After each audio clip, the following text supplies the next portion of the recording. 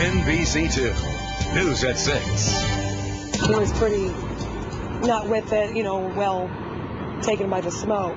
Firefighters revive a dog after pulling his limp, lifeless body from a burning home, but 10 cats were not so lucky. They all died in the fire that broke out in this home on Floyd Street in Port Charlotte. NBC2 Steve Campion witnesses firefighters making that dramatic rescue, and you can see he's got a friend with him tonight. Steve is working the story from our Charlotte County Mobile Newsroom. Steve.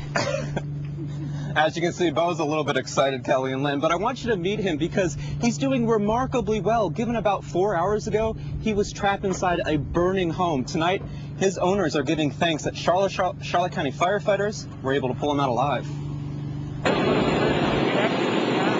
Grasping for air, Bo the Beagle finds himself after firefighters pull him to safety from a fire inside this Port Charlotte home. He was pretty not with it, you know, well taken by the smoke. But then when they gave him the breathalyzer, you know, not the breathalyzer, but the oxygen, he came right back.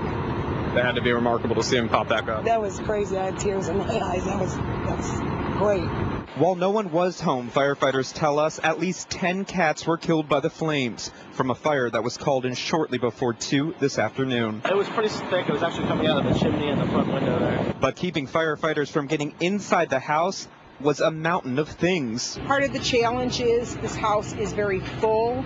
Um, it's cluttered.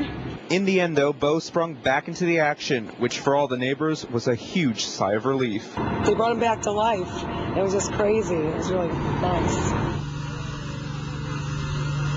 Now, Red Cross has been out here helping the owners of this house because smoke damage has made this house uninhabitable. As for Bo, the family tells us they're thinking about renaming him Lucky, given everything he's been through. We're live in Port Charlotte. Steve Campion, NBC2.